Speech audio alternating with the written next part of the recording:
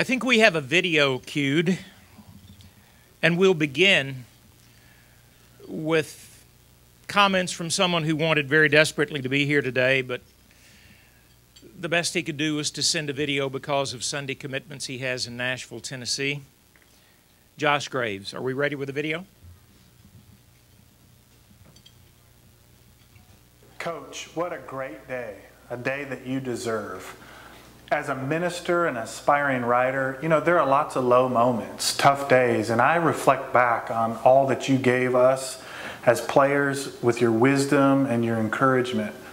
So when I'm down, I think back to the great moments of being with Garth Pleasant. I think about the time that you had a v-neck t-shirt and boxer shorts on when you walked out in the middle of practice. I think about the time you forgot your pants when we were playing a nationally ranked team in Florida and had to coach with sweats on? Or what about the time at Central Michigan when your pants split and you had to coach from the first chair? The only time you ever coached sitting down my entire career.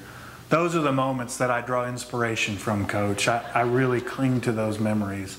I also think about the times when you would say, Graves, stay out of the corner, or Graves, pass first, shoot second. Grace, who taught you how to pass anyway?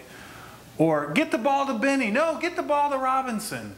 Coach, those are the moments that really, really sustain me when I'm down.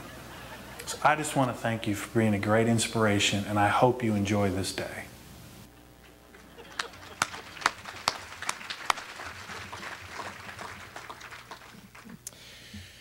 Mike Roller, would you make your way to the front? We have Mike here live from Nashville.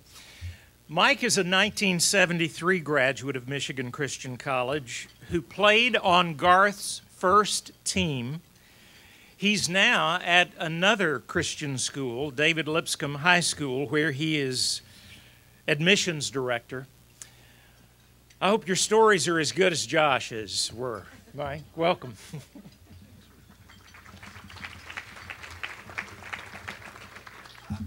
I shouldn't have followed that video. I can see that right now. Uh, I really don't have any great Garth stories. I, I, when I was thinking about if if I had an opportunity to say something about Garth, I hope this doesn't sound selfish or self-centered, but but when I think about Garth, I think about somebody who makes me uh, feel special. And he really hurt my feelings one time because I thought I really was special to him until I started coming up for clinics. Coach uh, was gracious enough to bring me up for some clinics that he was doing up here. And I came up and uh, I would sit in Garth's office. And I would sit in the office, and, and he just gets phone calls all of the time.